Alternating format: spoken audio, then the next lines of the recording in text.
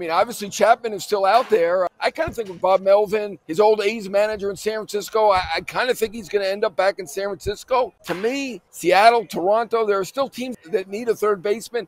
I think it's tougher for him, though. I mean, Bellinger is more versatile, right? Chapman, I mean, in a pinch, he could play short for a game or two, but he's basically a third baseman. So you're going to have to focus, target those two or three teams that really need a third baseman. If I were to guess today, I'm going to say Giants.